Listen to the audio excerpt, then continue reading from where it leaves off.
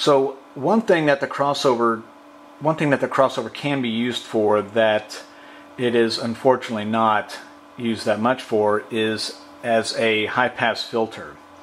Now I think uh, most everybody has seen, uh, let's see if we can pan down here and take a look at the, um, so we can take a look at the EQ sitting down here. There we go. Okay, this EQ, this is just your regular DBX EQ, and on it, uh, let's see if we can focus that. No, maybe not. Can't even get in too tight on it. All right. Well, on this EQ sitting here, this is a low cut. This is a low cut or a high pass filter right here. It's a low cut at 40 hertz, which means that if I push this in, anything from 40 hertz and on down is not being produced, which is perfect. But also, some some EQs don't have this function on it, and so a, a lot of times you'll see are uh, people here running their lower frequency levels down. There we go. I think this will look a little bit better.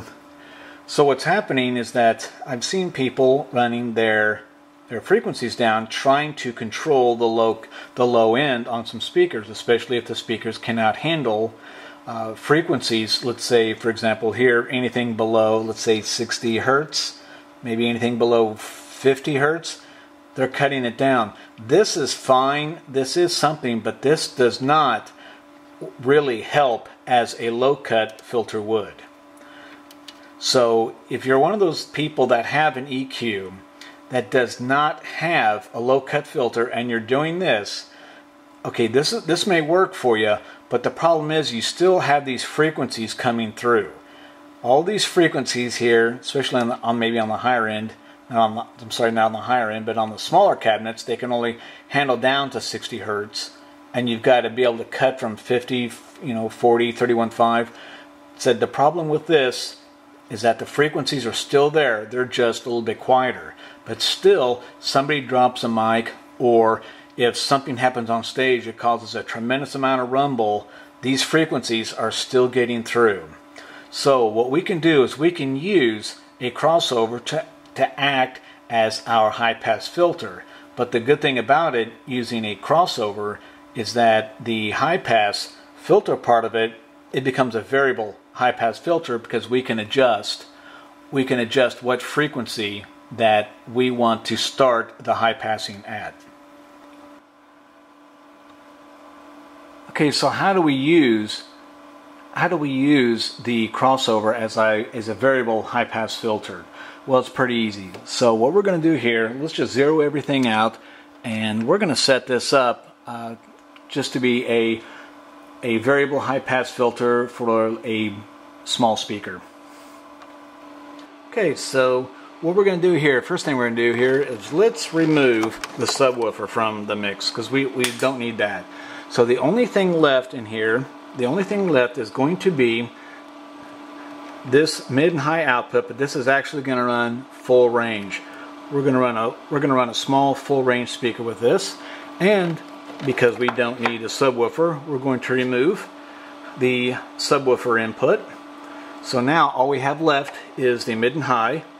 This is what came out of the crossover, and this speaker cable here, it's now going to go to a uh, small 12-inch uh, full range speaker. Okay, so here is the back. This is of a, a Yamaha. This is a C112 C112 uh, V speaker. It's a full range. It's a 12 uh, inch, and we're just going to connect it into there, and uh, we're going to run this speaker as a full range speaker, not as a biamp speaker, but full range. And we're going to set the um, we're going to set the crossover to work as a variable high pass filter for it, so that uh, we can protect the bass speaker. Okay, we're back at the crossover now. So we've got that one speaker hooked up, just a small uh, 12 inch speaker. Let's see. And that's it right here. Got the speaker right here. What we're going to do is we've got the music playing. So let's go back, set our levels as a place to start. Now remember, we don't need the low anymore. That's not going to be of any value to us, but we do need We do need the mids and highs.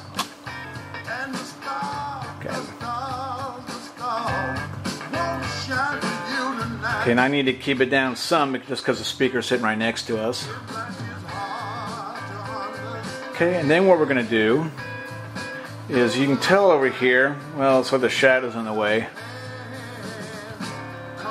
So right now we're only allowing about 60 hertz, about 60 hertz and on up to pass through.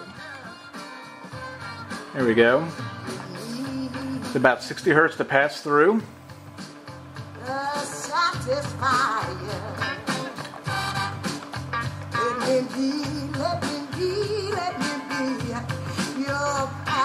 Okay.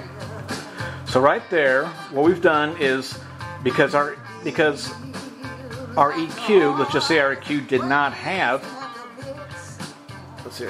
Because our EQ, let's just say the EQ doesn't have a low cut filter on it, we can set up our own high pass filter for it. And anytime that we do a show, it's either uh, just something as simple as background music or got a small band playing or something, they don't need anything big. It's still important to have safety features in place just to uh, protect the system, just to protect the system from a drop mic or a big heavy stage rumbling. You know, if I wanted to protect it more, I mean, I could turn it up you know, there it is at 100 hertz. But then it can start sounding a little too, uh, not very much in depth, I'll say that. It has a little bit more bass to it. So this is how you can use a crossover as a variable high pass filter.